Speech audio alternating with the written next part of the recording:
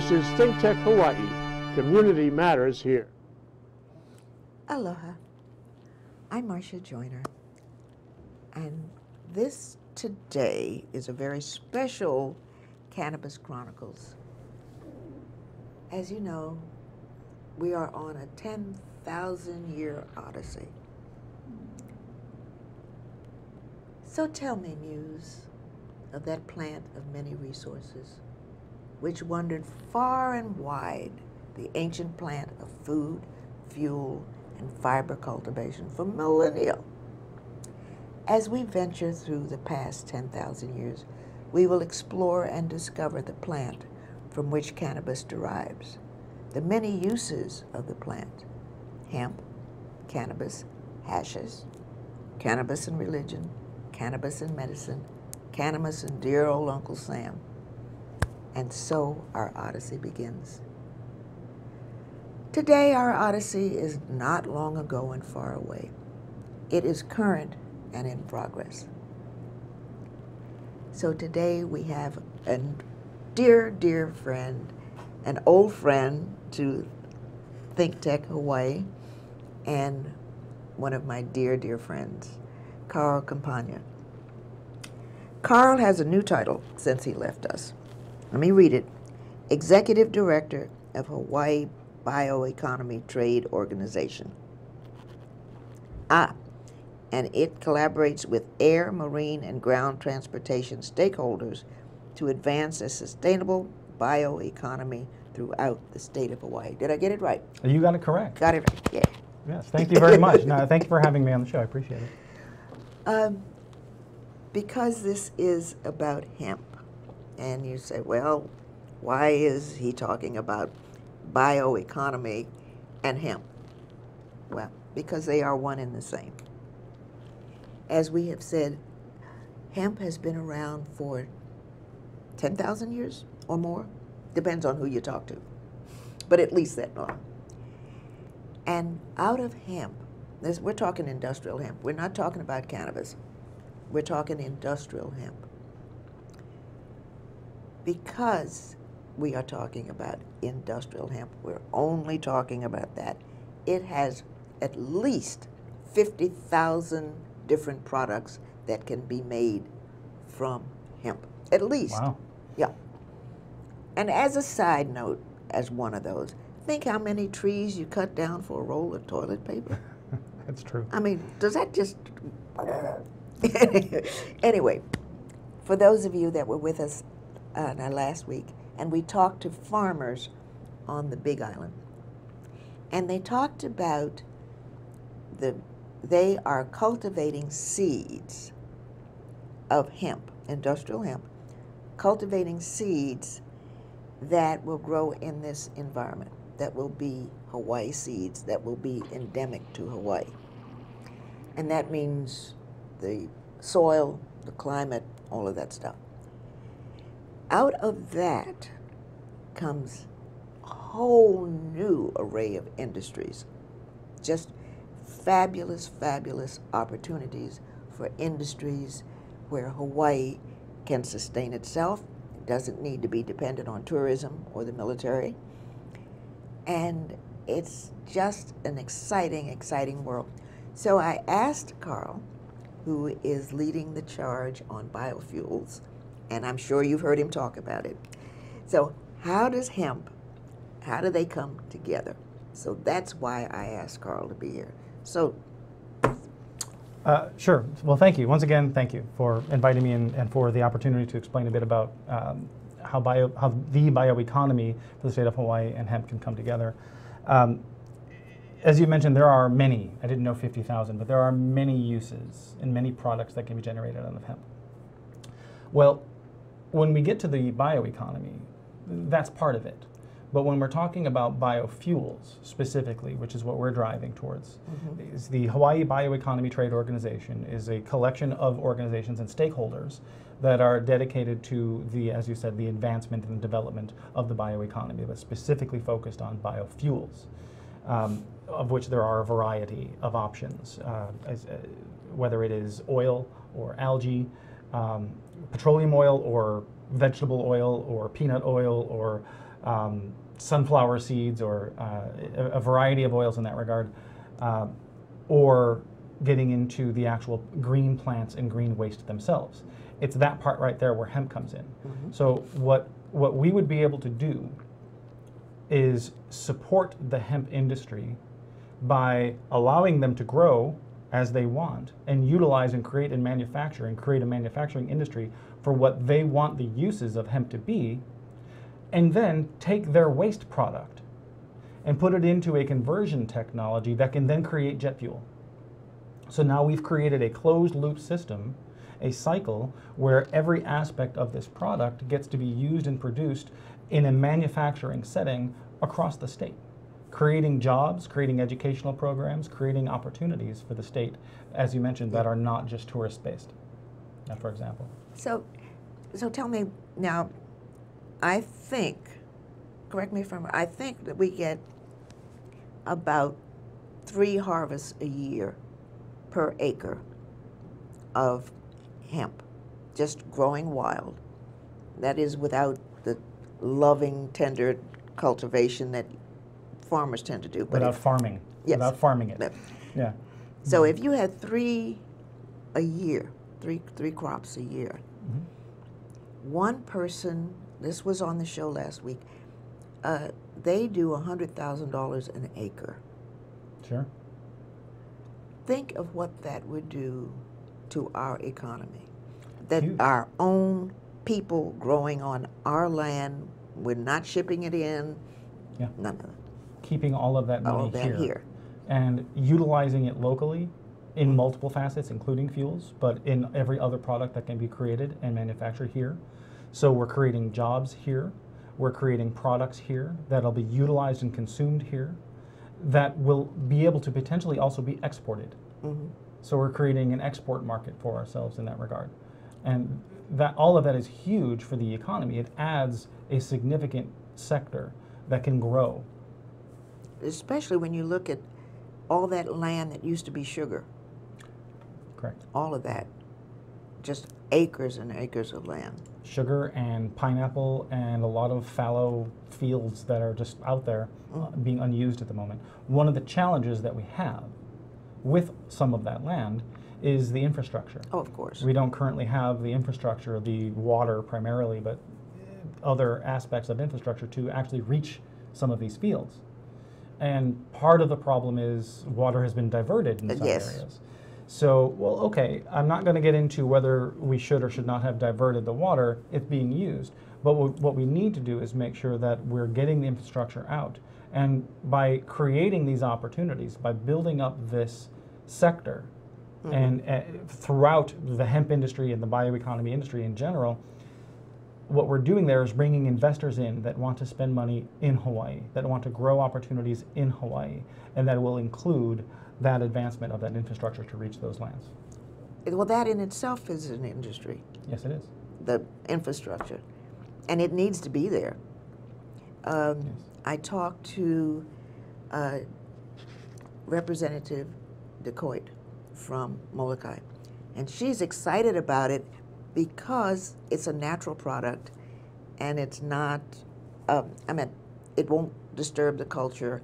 It, she has farmland, there's lots of farmland there that's just sitting there.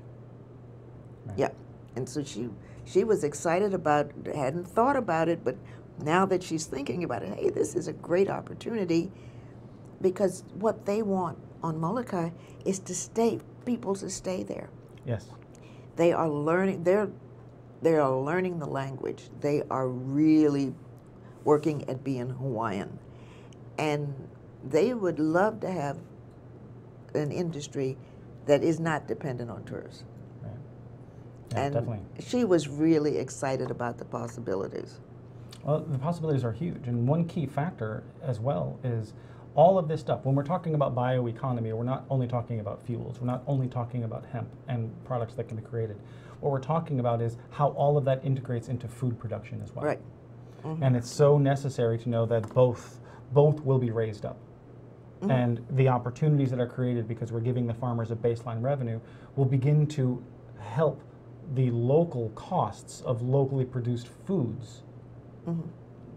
come down. so it's more affordable, and then we start to get it integrated into more aspects at a lower price, at a lower cost uh, throughout the entire market here in Hawaii.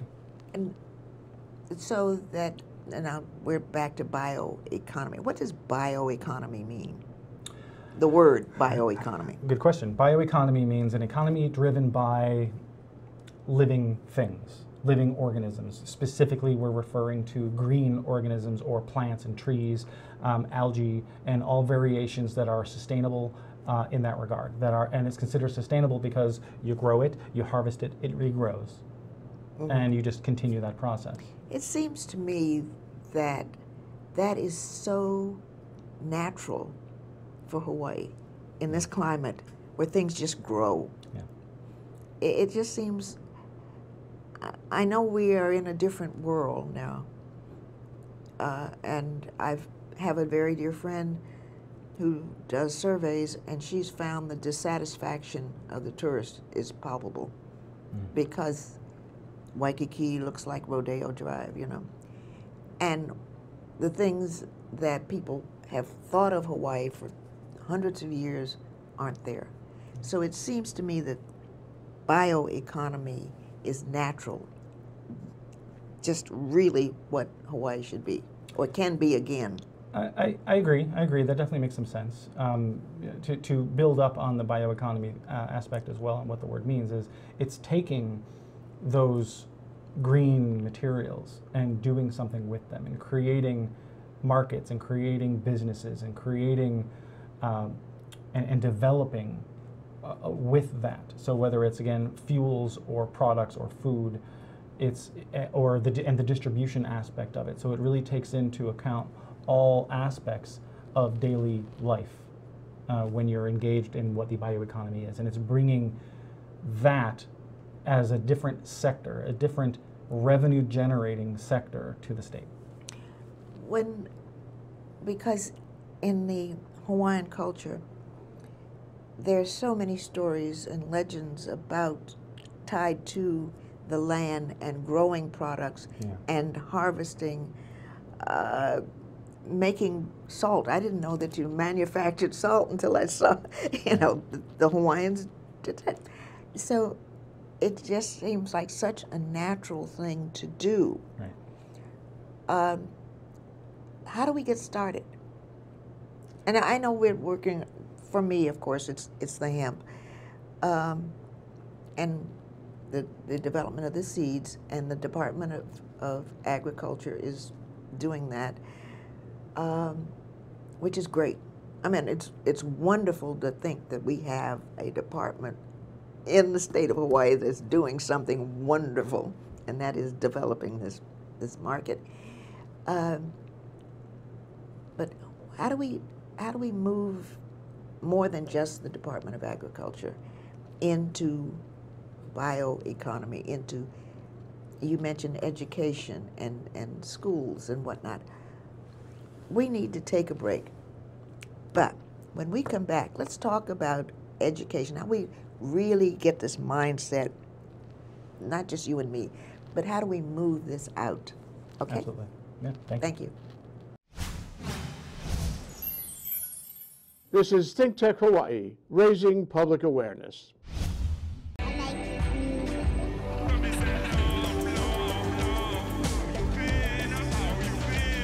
Said I could play, so any chance to play at all. You know, that's my life. I love music. Yeah, that's how we do it. Some say scuba divers are the poor man's astronaut. At Dive Heart, we believe that to be true. We say forget the moon. Dive Heart can help children, adults, and veterans of all abilities escape gravity right here on Earth. Search diveheart.org and imagine the possibilities in your life. Aloha, welcome to Hawaii. This is Prince Dykes, your host of the Prince of Investing, coming to you guys each and every Tuesday at 11 a.m.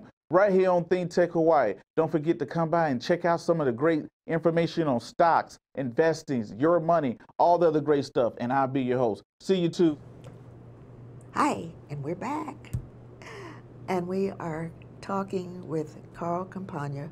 For those of you that have been with us at Think Tech, remember Carl. And he left us. Oh, but Carl is working on bioeconomy. And of course, you know, hemp has got to be a part of the bioeconomy.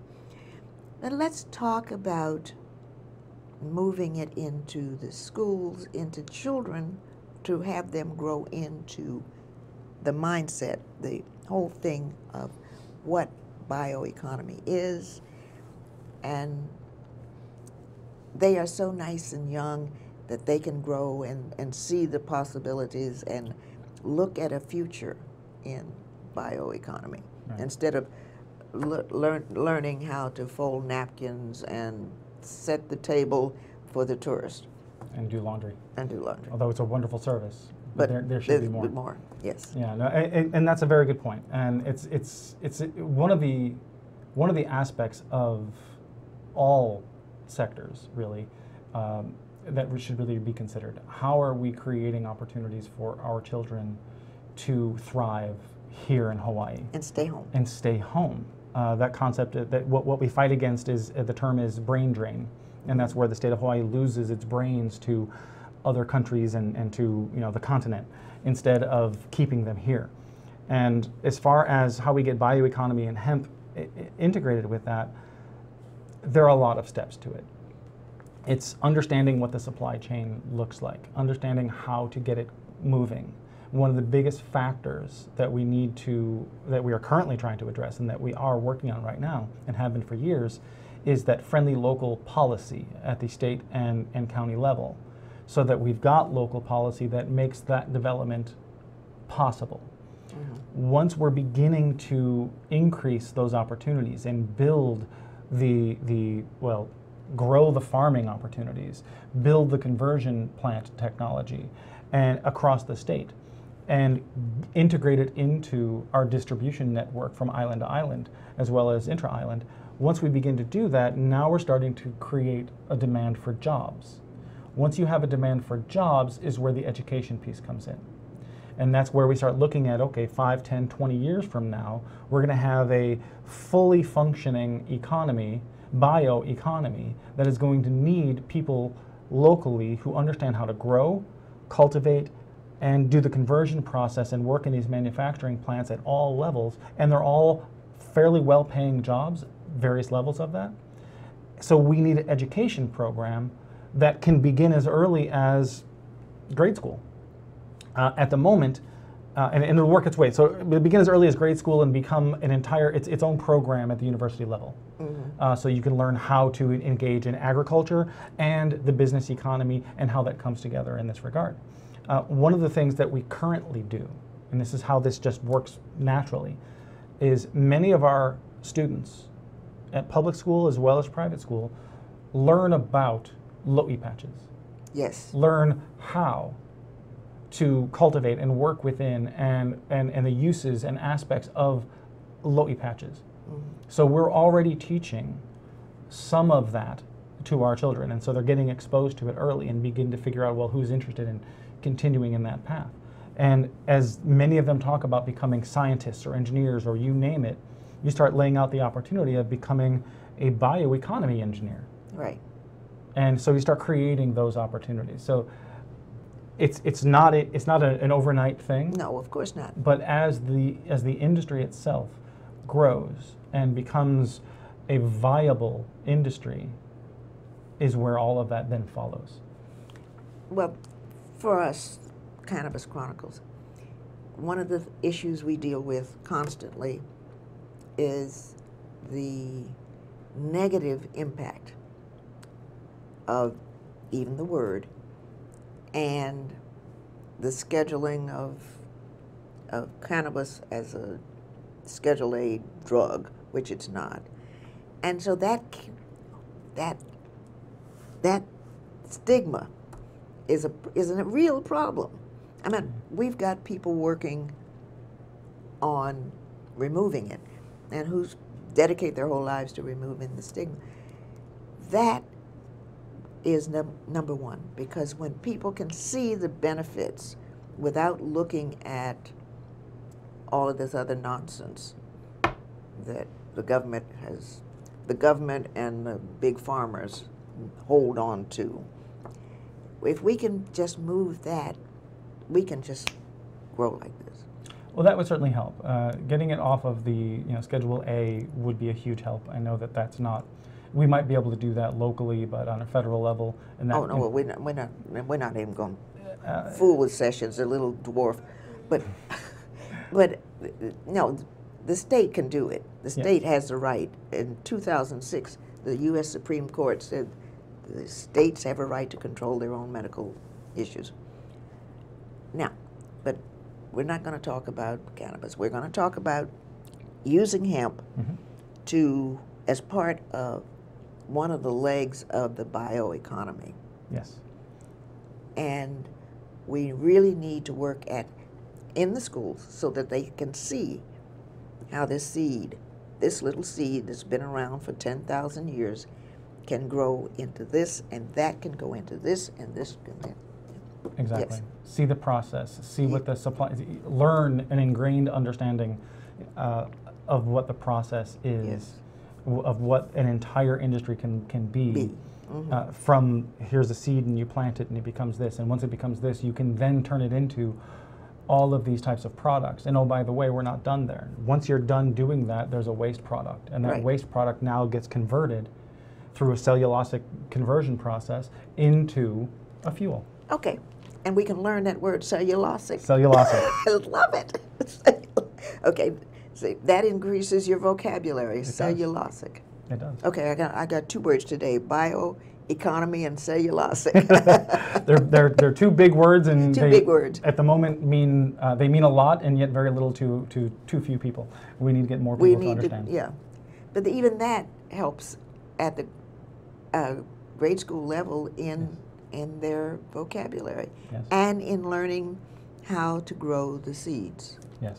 and how this hemp plant uh, can cre- clean the land that we have polluted.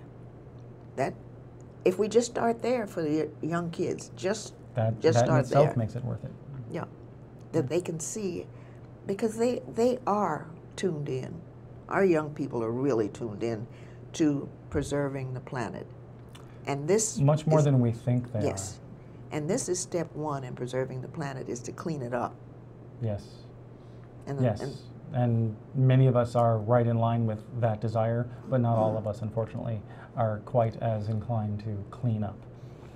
but So that's one of the challenges that we have. Yes. Oh God.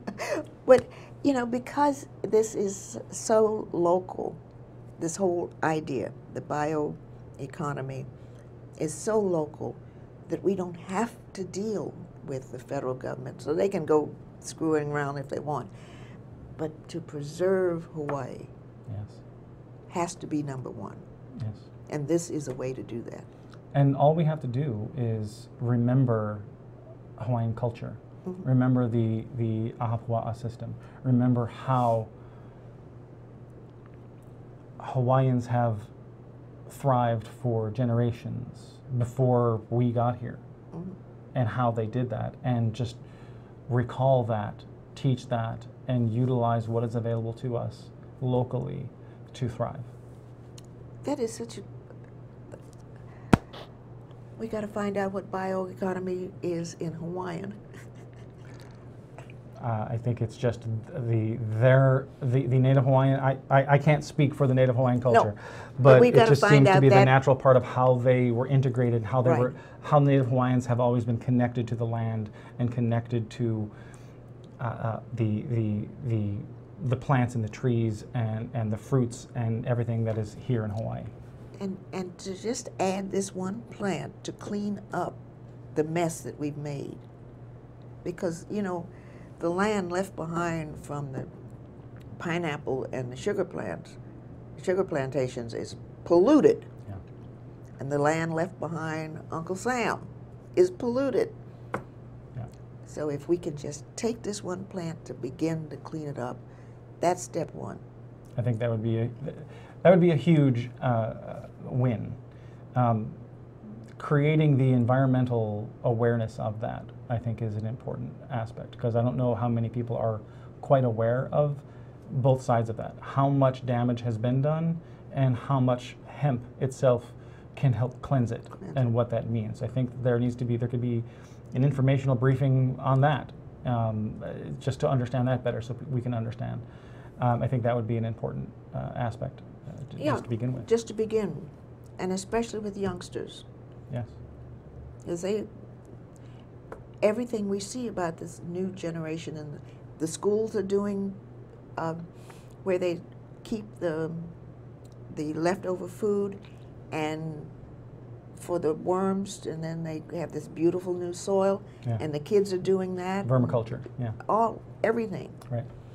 So this, this seems to me, the more I think about this, the more I think this, that's the place to begin. And what's great is I think a lot of that is happening, um, and it and it, as most things when it comes to this, it's it's a slow roll. Yes. It's happening in in not in fits and starts, but in a slow progress. We definitely have vermicultural centers at, at Right. many of our public schools. We definitely have farm to school opportunities at, at many of our schools, and those opportunities are growing to more and more of our schools. And I'm not just talking about private schools, I'm talking about public schools Yeah. as well. So I think that's a huge aspect of it, and the more our children are introduced to it and what it means, I think the more the future is brighter in that regard. I'm, I'm, I'm excited. Well, of course, I've been excited about the opportunities with hemp, but I was thinking really on the big picture. But let's get down to the little picture, and that's wonderful. The, the, to begin with the students to begin there, Yes. because they're they're they're malleable. They they can be molded and to and they already care. And they are our biggest investment for the future. Yes. And one last thing before we go about hemp and one of the products that can be manufactured out of it is suntan lotion. Oh, really? Yes. So it could replace Coppertone. It protects the skin and it doesn't have that horrible stuff in it that kills the reef. Wow. So that in itself, It's equally as effective? yes, I, I did not know this. I would love to learn more about that. Yes, and just take that for instance, and not kill the reef. Please, let's not kill the reef Yeah. any more than we have. We- Let's, we've let's- already let's bring done- it back to br- Yeah. So, so that to me is one of those products. Yes. One of those products that for Hawaii would be wonderful. Have you been to Waikiki lately? Uh, I have, yes. And you know when you walk along the beach, you smell Coppertone. Yes, absolutely. Yeah. You smell Coppertone, and then you look across the street and you see high-end uh, merchandise stores. Yes. Yeah. It's it's all gone. Listen, Carl, it's a pleasure to be with you. Thank I you always enjoy spending this time with you, and you will come back. Yes, I will. Now that you got this big time job and All this. I don't know about big time, but uh, uh, no, I, I appreciate the opportunity to come and, and, and talk about hemp and its aspects and how it comes together with the bioeconomy. I'm happy to talk about the our, our bioeconomy trade organization. Uh, so anytime, uh, and as, as we go through and develop, whether it's legislation or projects, I'd be very happy to, to, uh, to let you know. Okay, great. Thank you. Aloha. This has been a real pleasure to be with you, and we'll see you next time. Aloha.